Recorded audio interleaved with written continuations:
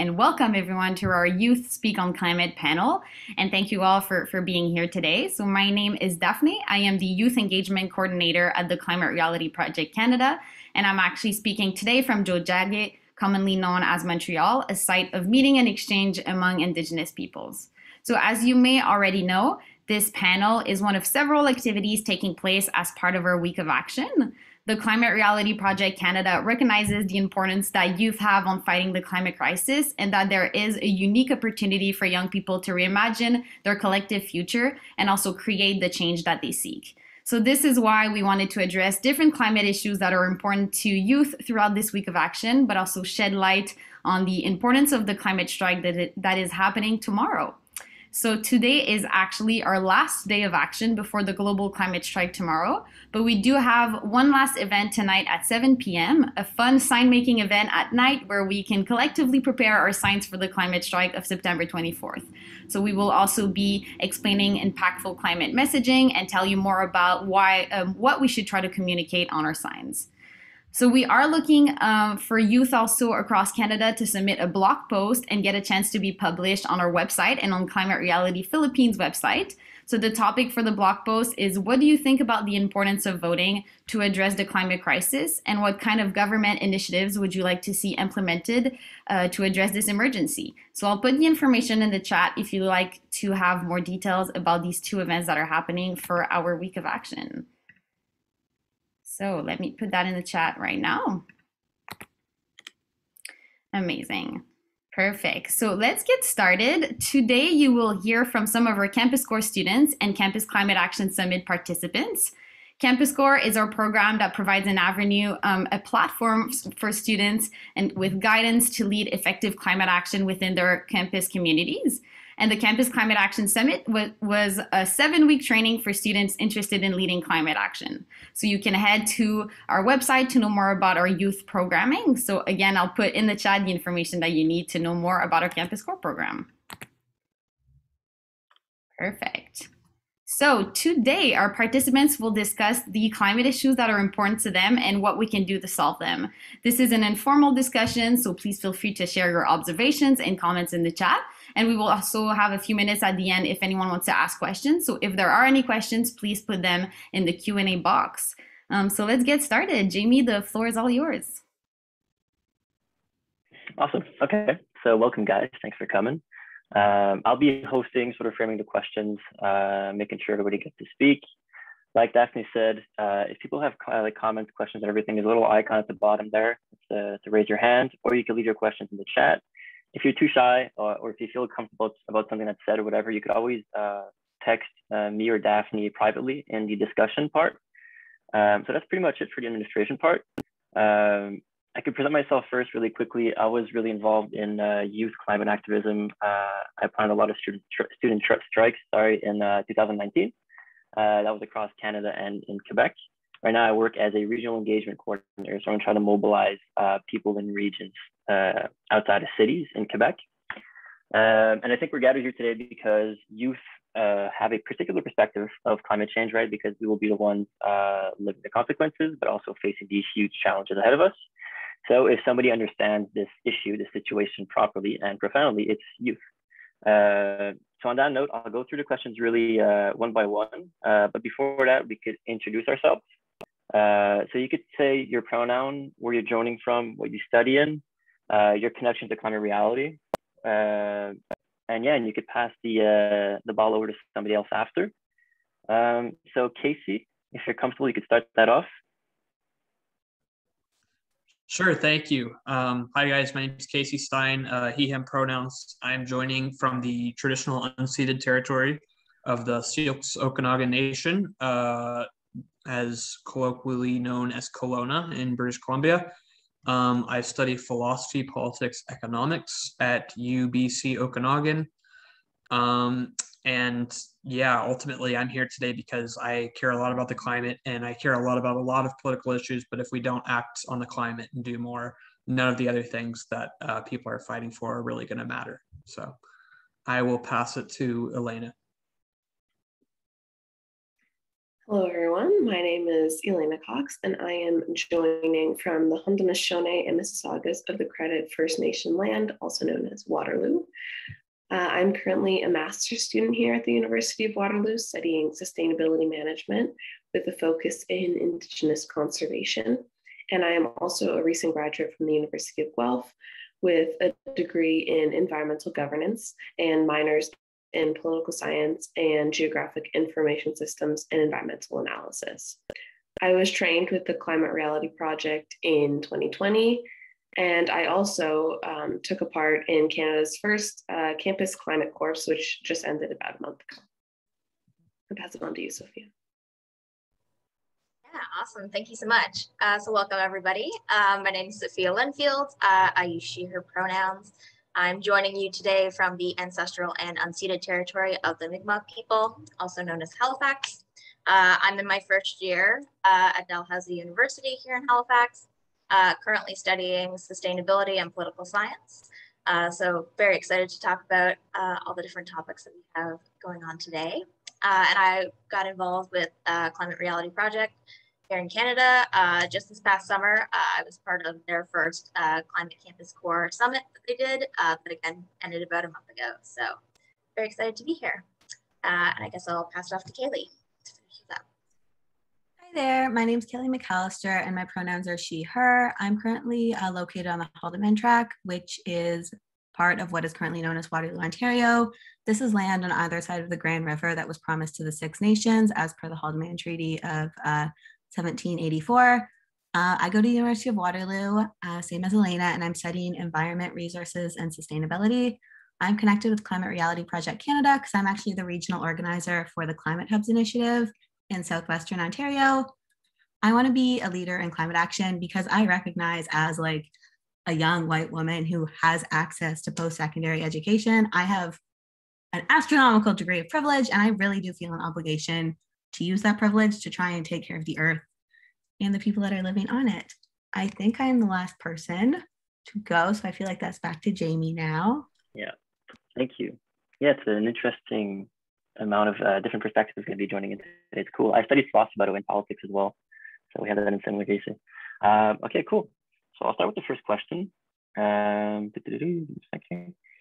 yeah, so the first, one, the first one's a biggie, actually. Um, so I'll read it out loud uh, word for word, the increase in recent forest fires in British Columbia, Northern Ontario, and around the world like Greece, Turkey, and Italy are just a few examples of how climate change is becoming more and more devastating. And, you know, it's, it's manifesting concretely around us. So the question is, if left unaddressed, how could climate change, how, how could climate change, sorry, further impact our lives in the future? So a big question, uh, and I don't think it could just only be answered in concrete uh, manifestations, but also socially uh, so yeah, that's the first question. Does anybody want to go first, or do I pick somebody out at random? I can go. Uh, I think that if climate change is left unaddressed, uh, one thing definitely is there will continue to be an increase in extreme weather like flooding, wildfires, and even more large scale disastrous events like tsunamis and hurricanes. And additionally, I believe that there will be a lot more pandemics um, and related health events like that uh, that countries will not be able to handle adequately because they will be so large scale um, due to the changing climate that we're not going to be able to handle it very well. And it's time to either prepare for that or address climate change better. Yeah, absolutely. And I think think a better answer to this question is what won't the climate crisis affect? Yeah. because it is like it's such a huge issue that's going to affect pretty much every sector of our life. So there's going to be extreme weather, there's going to be more pandemics. You know, countries are probably going to become more isolated if we're going to have to be focusing on the disasters within our borders more than we're able to focus on like global citizenship um, and then crops are destabilized and you have food shortages. So i think it's it's a really big complex issue that's going to affect a lot of really big complex things. And that's why we need you know so many different people working on this issue in every aspect of society uh, because we really we do need all hands on deck for for an issue of this magnitude. Yeah absolutely. We'll be getting into possible solutions too after mobilizing stuff like that. Uh, casey do you want to add anything or kaylee Yeah, I mean, I can just say I, I think a lot of people who are attending already know most of the answers to this question. Um, and I think Sophia put it pretty well in terms of what won't happen.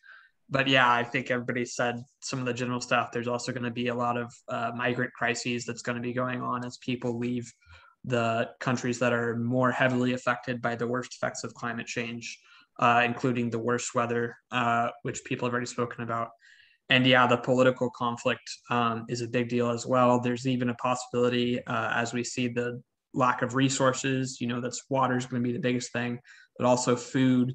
Um, as the migrant crisis continues, people are going to be leaving certain places to go to more other places that are more habitable. Um, and there could be the potential to have wars over those, you know, which is kind of tragic. Um, and we've been in a period of unprecedented privilege over the past 50 years.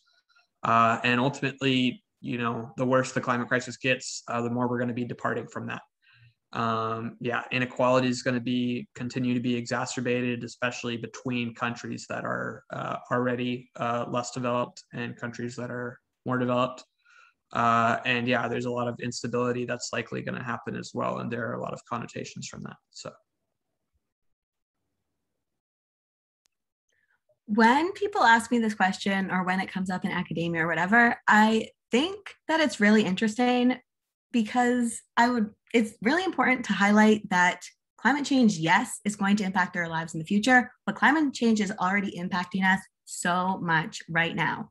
Hundreds of thousands of people are dying from climate change every single year. Um, in July, sorry, I'm getting a whole bunch of texts from my boss. I'm like, no, not right now, lady. But I apologize.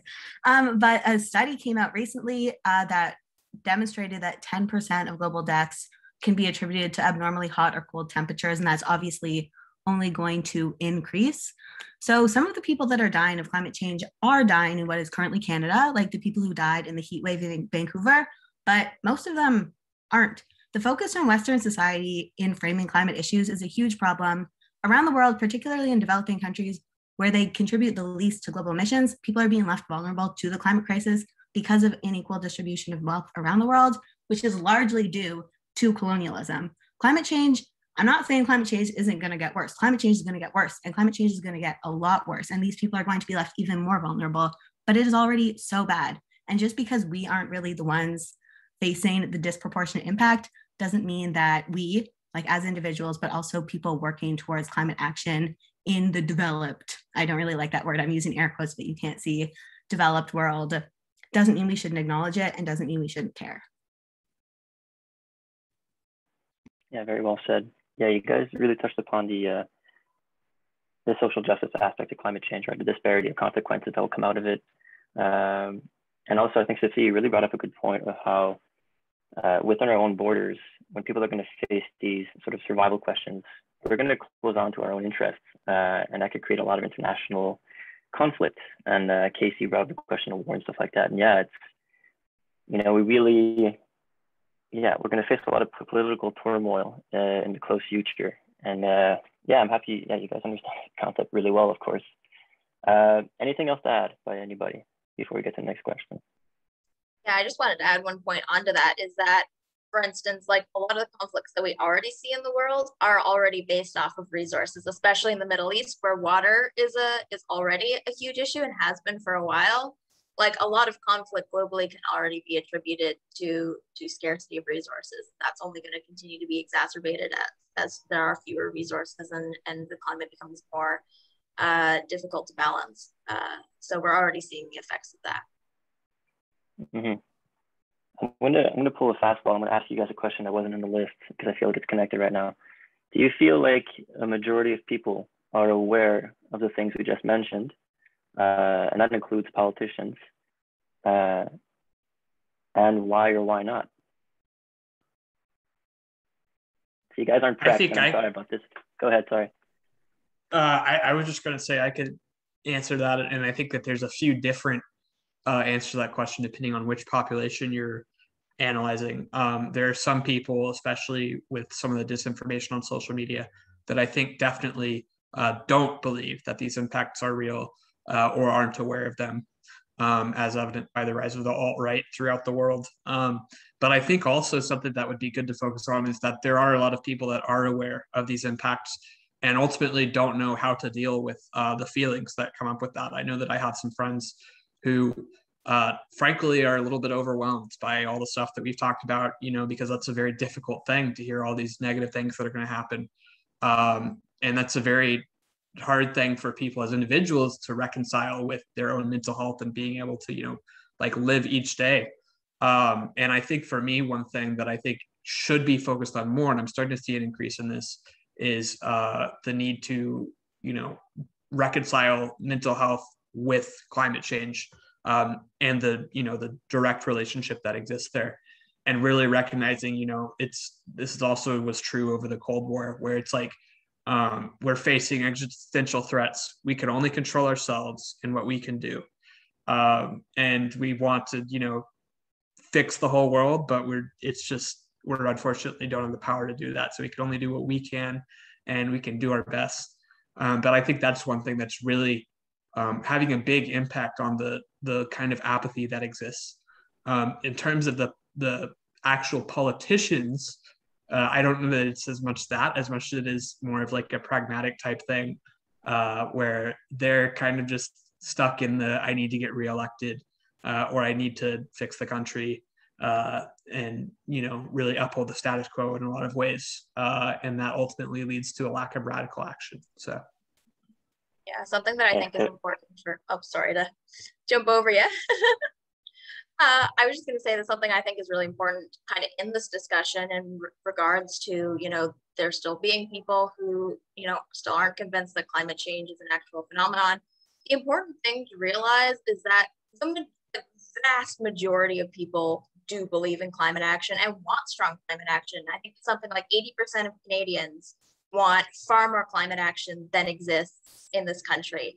And an important part of this is to look at media coverage of the climate crisis. And I saw a statistic on social media the other day where it said that within 10 minutes of Jeff Bezos's trip into space, he had received more climate, more news press than climate change had for the entirety of 2020.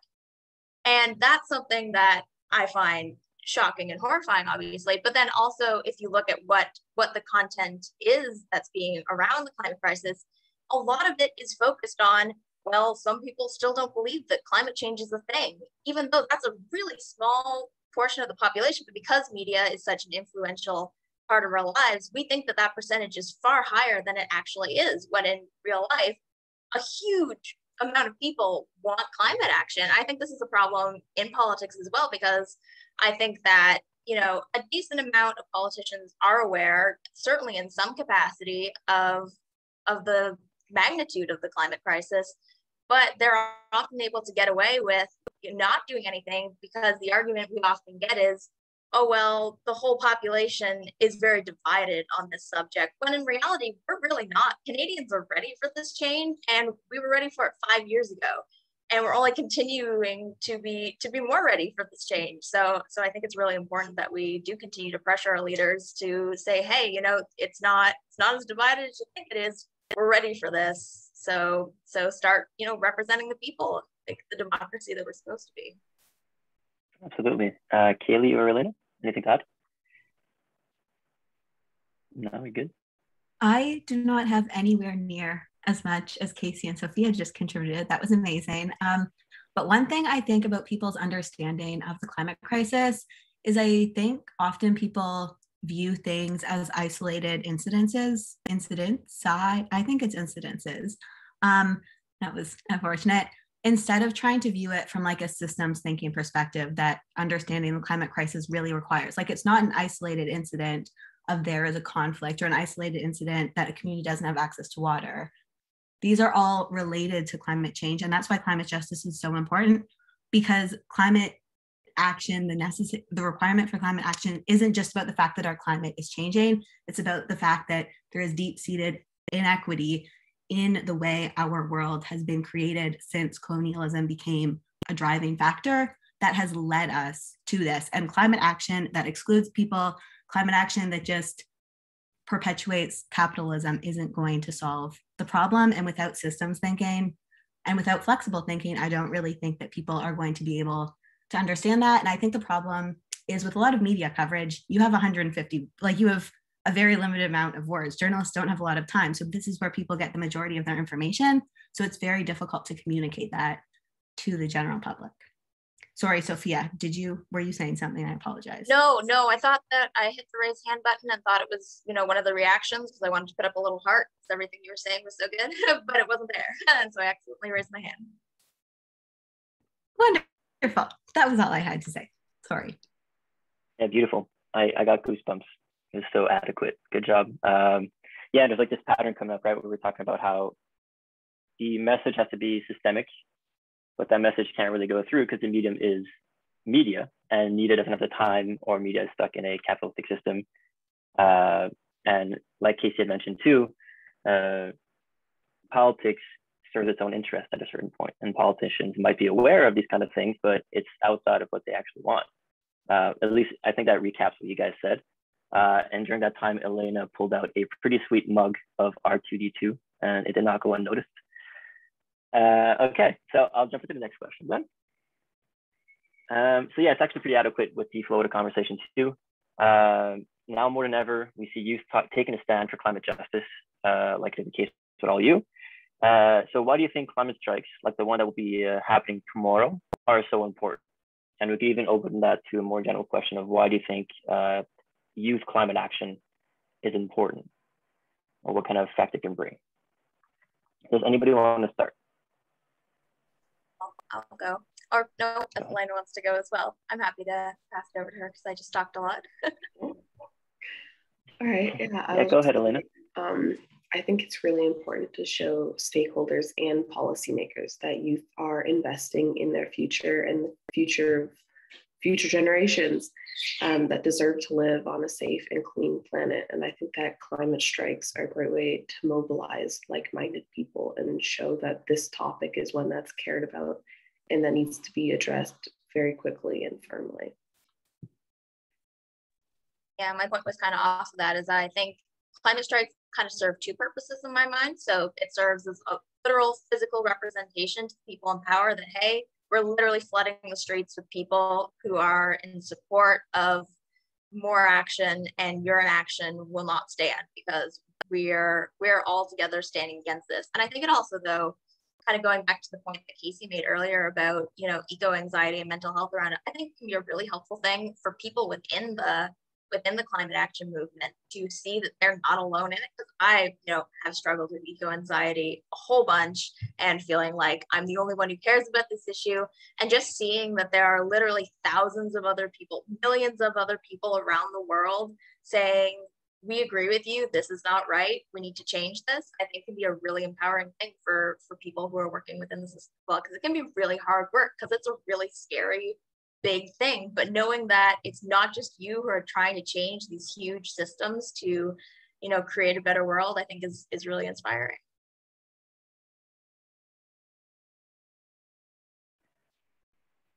um yeah go ahead kaylee sorry were you Oh, you said go ahead. I apologize. Okay. So I think it's very possible that Sophia somehow has access to my Word document with all of my notes, and she literally just stole it from me and plagiarized and reeled it off. Um, the only other point that I had that she somehow missed, I had three points, she only had two. Well, there you go. There you go. Perfect. Um, I think that climate strikes are really valuable. Um, she kind of touched on this a little bit. They help us network and kind of build a community. So, number one, that can help us strength, strengthen existing initiatives because you can meet someone and be like, hey, this is the group I work with. Hey, this is the group I work with. How can we collaborate? But also, it's amazing to build a community because often, even in my program where I'm studying environment, I feel so isolated because I spend so much of my time like I'm vegan, I walk everywhere, like I spend so probably like 20 hours a week or 30 hours a week working on climate issues. And I just see a degree of apathy. And I don't think that's wrong. I think that what I do probably is too much because honestly, as one person, it's good that I'm trying to make a difference, but me being vegan isn't going to solve everything. So I'm not judging people who aren't, but it's so nice to go to the climate strikes and see other people who are living similar lifestyles to me. And I really feel kind of understood because generally people are like, why are you eating a veggie burger? why are you walking into class when you could borrow your mom's car? Blah, blah, blah, blah. I think that's fantastic. I really appreciate it. Elena is someone that I have found this community with because we are working towards creating an on campus program at Waterloo, which I'm super excited about. But yes, I don't want to steal anyone's time. Casey, if you have any thoughts. I think you guys have summarized it up pretty well, and I, I know I have more to add to the next question because ultimately, yeah, it's it's about raising public awareness and community building, and I think that is a really interesting point that I haven't thought about uh, which is that this is a good way to cope with eco anxiety is meeting other people at places like these climate strikes. So I really liked that point that was brought up. Definitely. You could hop into the next question right away if you want, Casey. Uh, yeah, I'll let I'll let you ask it first if okay, you want to. Cool. So. Yeah, yeah, if it's connected for sure. Um, so aside from strikes, how would you like to see youth and other people mobilize for climate? Yeah, so uh, there's really something really particular for me uh, that I have in this approach. Um, I take a very pragmatic approach that maybe not everybody necessarily has, but the way I look at it is uh, 75 to 80% of carbon emissions come from four sectors. They come from transportation, manufacturing, uh, buildings, and power plants. Um, so that's a lot coming from four specific sources. Uh, and ultimately, I think that these climate strikes are really important, and I think the protests are important. But I think it's also important um, that we focus on the specific policy areas that get addressed as well, because I think that there's not enough uh, discussion about that. You know, um, the reality is the United Nations isn't the one that regulates power plants. Uh, shareholders don't set fuel efficiency standards, and the federal government isn't the one that uh, sets building energy codes in Canada. Um, there's a finite number of decision makers. There's executives uh, in those four industries that I mentioned, and there are regulators uh, in the federal government and primarily provincial government. Um, so really, I think the process that needs to be taken is um, after figuring out who the decision makers are for each of the sectors, figure out how they operate and what's the most effective way to apply pressure on them. Um, what's their statutory power? How they get their jobs? Um, you know what the boundaries of their power are um, and who has influence over them is a big thing as well um, so i think lobbying personally I, I have a very biased view for sure and i think that that's part of why we have panels is we can have different people with different views uh, because for some people you know there's other areas that are more appealing um, and that they think have more power but for me i definitely think um, lobbying officials and kind of getting them to divert cash flows from fossil fuels to clean energy and having arguments that uh, make them think it's their own self-interest and not just because you want it, but because they should want it too. Um, there's a lot of economic incentives for why you should uh, switch to clean energy, and ultimately those those arguments in that math gets pushed down. Um, but if that math gets really circulated around, uh, that's a very great uh, powerful thing that can be used because I think politicians do act in their own self-interest. Um, and that's i guess one area where we can come back to the climate strike which is you know bringing awareness to these realities that aren't discussed enough um, so i will turn it over to somebody else yeah i just wanted to follow on that real quick because i am very much in agreement with the importance of uh, economic uh, approaches to to climate change because the reality is we do live in a world that's pretty much controlled by money in whatever sector it is, money is involved with it somehow. And we then end up, especially in capitalist societies, where the businesses are running the show more than our elected, supposedly accountable officials are. And they're not accountable in any way to the people. So while there are ways to do that through, you know, creating demand for green products and making sure that you're boycotting, you know, super awful products, um, there's only so much you can really do as an individual, especially when there continue to be government subsidies for, you know, supposed dying industries and less support than uh, for newer industries such as uh, efficient energy. Uh, but then my my kind of secondary point to to go with that is that also super important. Again, there's so many different ways that this could be addressed, and one that I'm personally very passionate about is making sure uh, that we are using our elected government to our best advantage. Uh, and I think that's a really big part of that is mobilizing young people because I think young people are such a you know untapped resource, especially with our involvement in government and getting you know not only young people to vote but getting young people to run is something that I'm super passionate about because there's there's a reason that politicians in this country usually focus on issues that older people care about because older people go vote. Older people have money that they've saved up for many years. They're they have a full-time job usually. They're contributing economically. Whereas youth do not unfortunately have any of those persuasive powers to get politicians to care about them. And therefore, you know, youth are less likely to vote for someone where who they see as not understanding or focusing on any of their priorities. And I think that, you know, rightly so, that that's fair. So I think a really important thing is encouraging young people to to go out and be that candidate and show young people that there is someone who's at least trying to get into government who does have your interests at heart.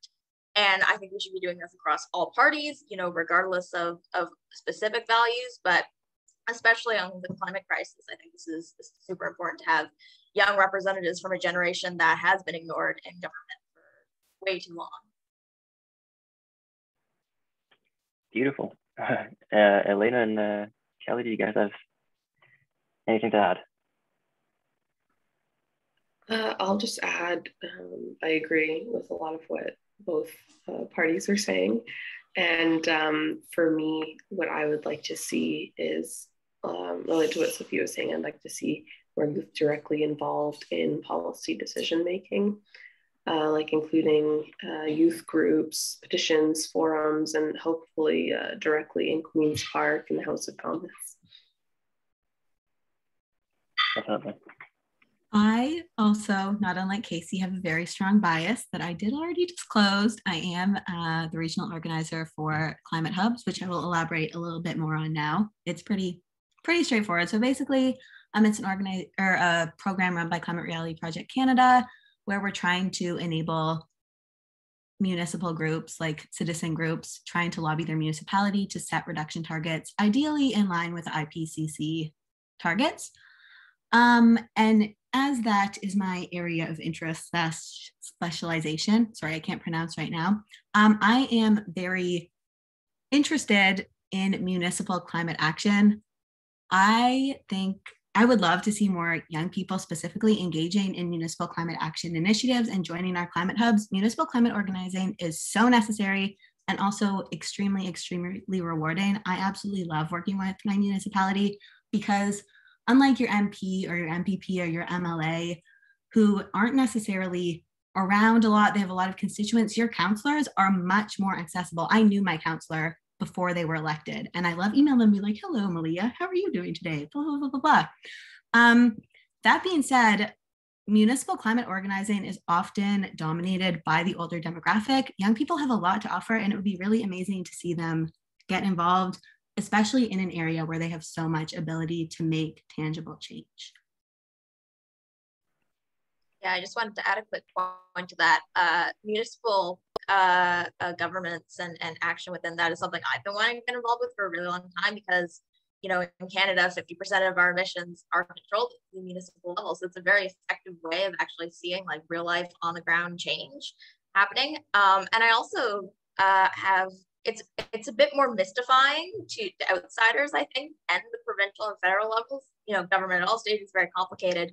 But for me, this is something that even in the past year, like I had no idea how I would even begin to begin bringing up an issue in you know municipal government, and it's supposed to be a lot more accessible to the people. And I feel like you know we should be circulating that knowledge uh, about how to access it so that more people know. I just wanted to say I, I really agreed with uh, both of what Kaylee and Sophia said about the the municipal, the advantages there, because it really is more accessible. Um, you know, you've got more of the party structure at the provincial and federal levels. But I really agree so much. Like people don't focus enough on lobbying local officials and the impact that that can have. So. Okay, beautiful. Yeah, my, my mandate with Climate Reality is to mobilize municipalities uh, oh, wait, I want to read what Kelly's saying. Yeah, exactly. Um, yeah, it's a huge potential at that level, and I think it's unexploited so far, especially by youth. That's an extremely good point. Um, another curveball coming your way, guys. Okay, it's it's not on the list, but I think that we're touching upon uh, the very delicate subject of whether or not we have hope uh, or we believe in our political system. So, if I had to ask the general question of, do you do you believe that the transition needed could come via our political system right now in Canada, would you say you do believe or do you not believe? Is it more of a grassroots thing, et cetera, et cetera? Big question again. Is anybody brave enough to start off? Oh, this one's tougher. Uh, Go ahead, Elena. I'll keep it short and sweet. Uh, no. I think um, maybe if more people that are passionate about saving the environment, like youth, are more involved, then yes, with our current political system and um, uh, the current voting that we just did, I don't, I don't believe that um, things will be accomplished as quickly as they need to be. Yeah, I think I think this is a really tricky question because the thing about democracy is that it often take you don't have one person who's just making all these decisions and it's like we're going to do this this and this. We're going to do it right away. We're going to do it now.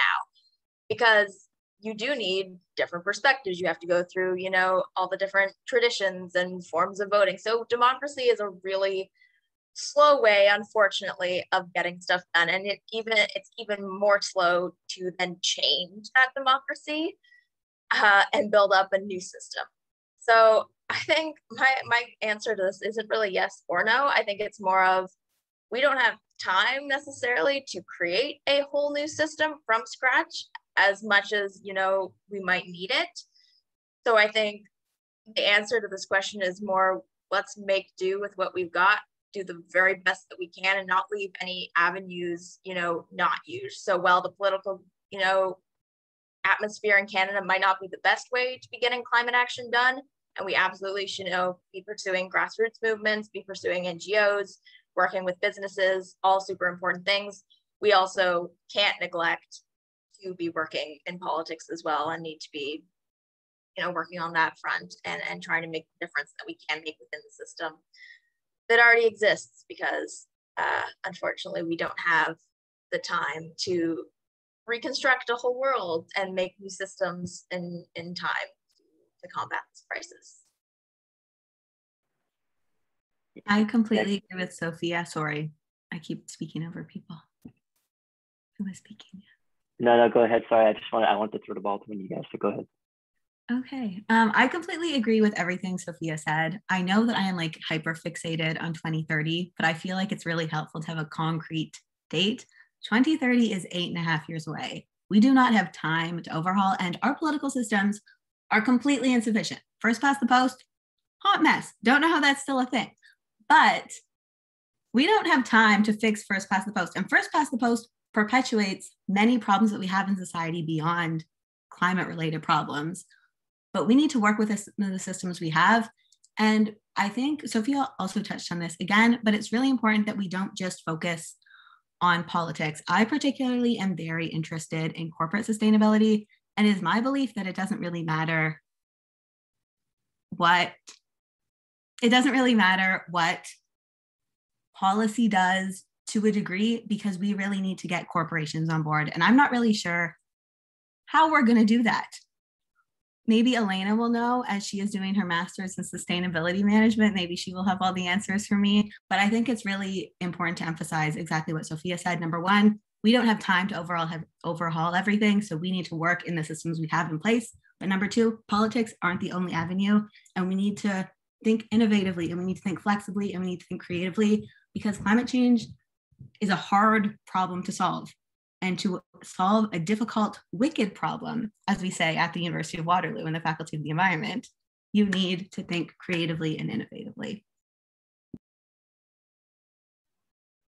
I think this is an amazing question and even better answers um, because it is such a challenging thing to answer. Because I think the reality is, um, there, if we changed our system completely to a much more ideal system, we would be able to do a lot more. But the question is, how much are we able to change in terms of the actual system?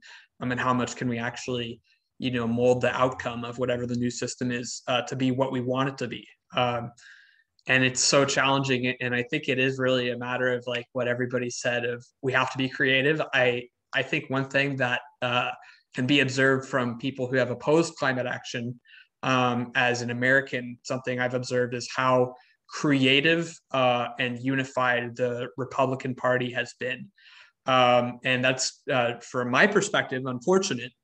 Um, but it's also something that's worth analyzing because they have been so consistent and consolidated in their views. And they've also been very creative. They haven't just looked at, okay, we're going to pass policy at the federal level. They've hijacked the court systems um, and they've hijacked state legislatures. And I think that's really an amazing point that uh, Kaylee brought up that it requires us to be creative and to, and to figure out what we're going to do. And, and if we don't have time to completely change our system, how can we work within the system and, and kind of like, you know, use the system to our advantage? Because frankly, uh, what, you know, people uh, who have been opposing climate action are using the system for is not what the system was designed for. Uh, they're do- using it very differently than what it was designed for, but they're also getting away with it. And that's something that, you know, I think uh, climate change need to focus on a little bit more. And I'm really glad to hear this discussion about it because it is like, yeah, um, we, we need to be creative and, and, we need to figure out the, the best ways to actually um, get these things changed.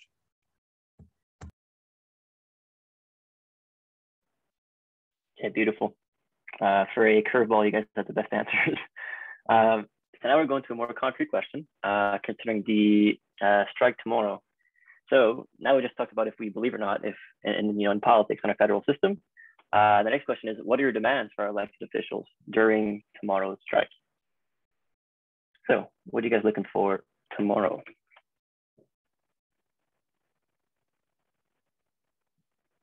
Anybody want to go first? Oh, I guess. yeah. Um, so my my demands is both simple and, and not simple. It's it's complete and unequivocal climate action in every single sector of government they can possibly anything within government power that they can be doing to help avert the climate crisis start doing it tomorrow. It needs to be treated like the emergency that it is. We reacted with COVID, obviously not perfectly. There were still issues with how we reacted to COVID, but at least we were acknowledging that this is a global emergency, that we need to work with our partners within our borders and with our international partners on to do as much as we can as quickly as we can. And I feel like anything anything less than that, while still well still great that you're still going to make an effort, but that's what we need if we want to avert this crisis and and we can't be mincing words that we that we don't need that because otherwise we're not holding you accountable the whole point of this large demonstration is to show you that this is a large issue that you need to start taking seriously and and treat like the emergency that it is Uh, I can go. Uh, I'm going to keep it short and sweet because we only have 15 minutes left. But uh, my demands would be to declare a climate emergency and work more actively to address climate change and reaching international targets that have been set, specifically through conservation and divestment from fossil fuels. Come on, it's time to invest in renewable energy. Ooh, not pipelines.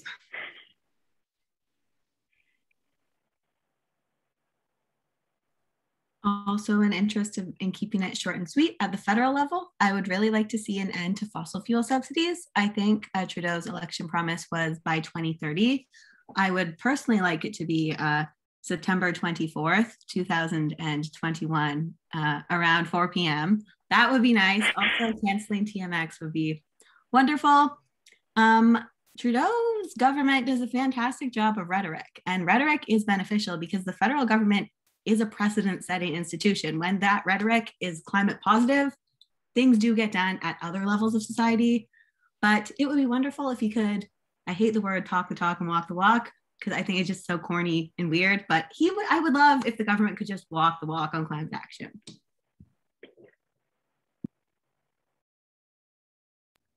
I agree with what everybody else has said. And yeah, I want to keep it short and sweet. Um, I think acknowledging that there's a climate emergency and maybe also acknowledging that we're the only species to ever cause a mass extinction. I probably bring that up too often, but I feel like it's because other people don't bring it up enough. But I find that something that's really significant. Uh, and when people actually start admitting that and acknowledging that, that can kind of uh, change people's frame of reference perspective.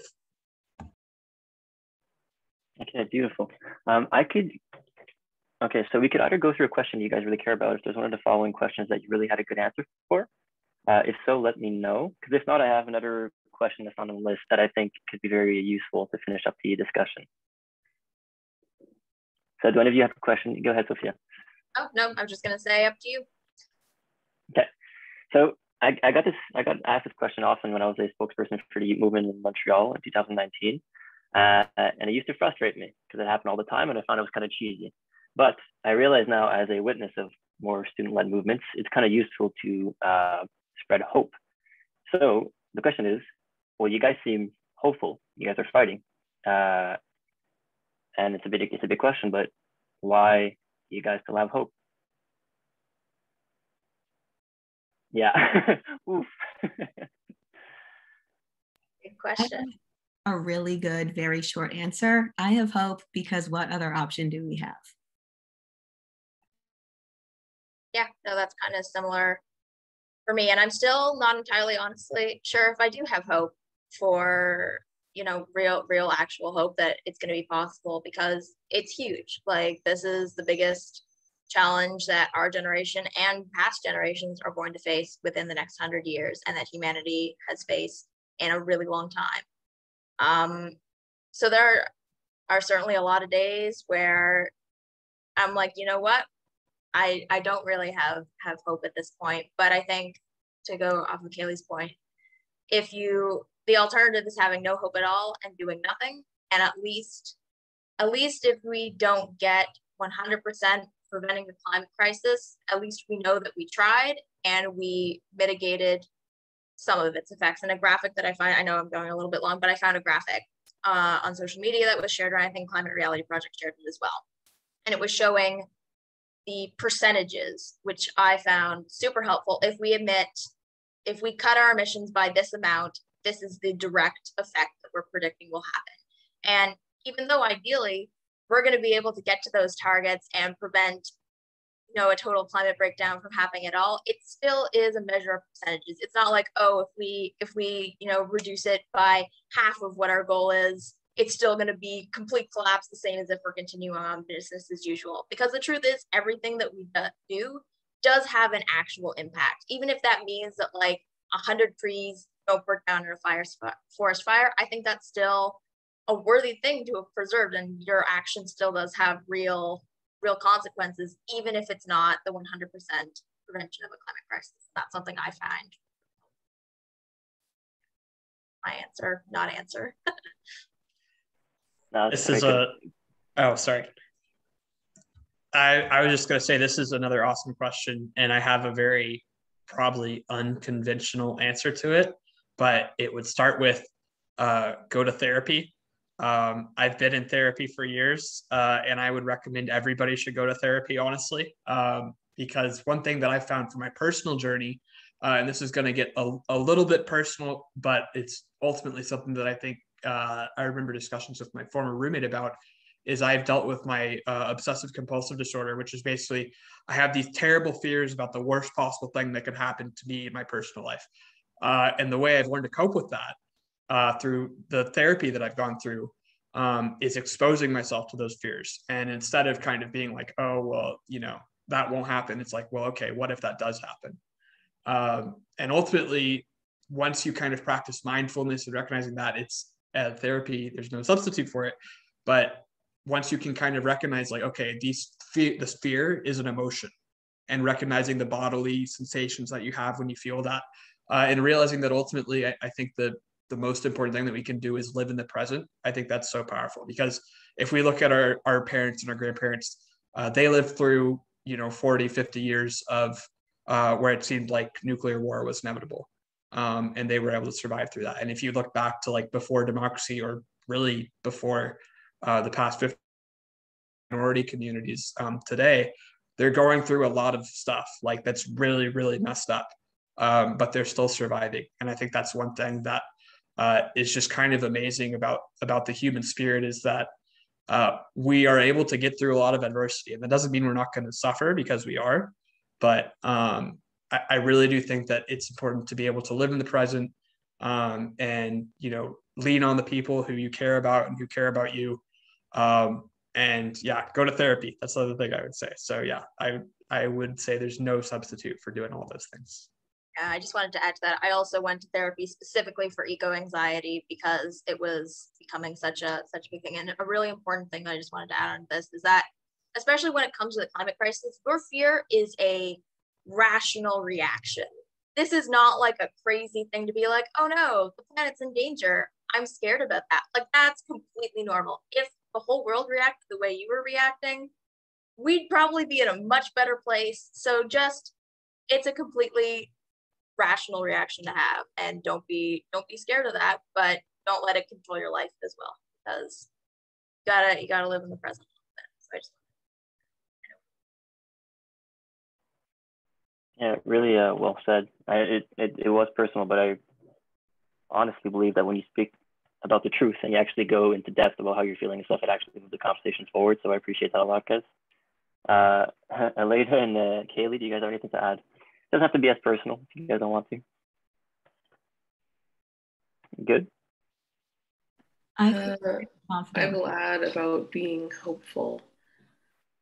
Uh, I don't know. Yeah, I guess it's hard sometimes, especially when you feel uh, pretty alone in like the things that you're doing. You're saying, "Oh, am I even making an impact doing these things?" Uh, it can be pretty bad um, when it comes to being hopeful. But I think things people mobilize together, like the climate strikes and you know volunteering with groups of people that have the same interests and the same goals for uh, climate change, uh, that's really where I feel most hopeful. I stand by what I said earlier. I don't think there's any other option. I like that. Okay, cool. Um, and so we have a few more questions to go. Um, there are more concrete stuff because we have to remember that this is being recorded and shared. Um, and I think the last little question is going to be useful for people watching. Um, for example, what type of support and amplification do you need from other generations? So I think that if you had a message to send to other generations listening right now, that would be the time. Um, does anybody want to go first? Yeah, I'll say that I definitely think youth are making the push towards addressing climate change, but it's important for older generations to understand the importance of addressing climate change now in order to make the world safer and even just habitable for their children and their children's children. And if older generations can't really support climate movements, then it's the future generations that are going to suffer. Yeah, my biggest thing on that is just amplify youth voices and listen to us and trust that our experiences are real experiences because in so many sectors of our society, young people's experience in life is not really taken as anything of worth. And I think that's that's a really sad thing because I think, you know, while we might not have the years of wisdom that we've gained, and that certainly is a really valuable thing, we do have perspectives on life, especially when it comes to the climate crisis, that is so unique um, and can't can't really 100% be understood by someone who's lived the majority of their life not fearing about what their future is going to look like and whether they'll get to retire someday just because there's so much uncertainty as a young person like how, how do you plan for your life in the traditional way that you that you used to plan when you don't know what it's going to look like so i think just just understanding and taking us at at face value and saying that sucks let me help you with that problem so you don't have to feel like you're going through it alone. And I think that's the biggest biggest thing you can do. Yeah, I, I think what Sophia and Elena have said is so true and kind of just like listen to young people more and and I think that there's also possibly like this this bias that's come of older generations of well we've gotten through you know the Cold War and all the, you know, we we won World War II, and so like we'll get through this. Um, but like Kaylee said earlier, this is a wicked problem. This is not like another problem that we faced in the past. And I think if uh, older generations can acknowledge, like you know, that that perspective in past uh, problems that the world has dealt with is a little bit different than the problem that we're dealing with now. Um, I think that would be great. Um, yeah, so just being willing to listen to us. And another thing too is a lot of the individuals who I do uh, interact with in terms of the the climate advocacy world are retired and are putting a lot of effort in um, in their free time, which I think is awesome. You know, because when you have if you have enough money that you don't have to work every day, uh, there's something you, for you to do. You know, help save the world because um, some of us have classes that we have to go to every day as well. So yeah, but I, I definitely think that there's, you know, uh, we need more unity and for people to be able to listen to each other. So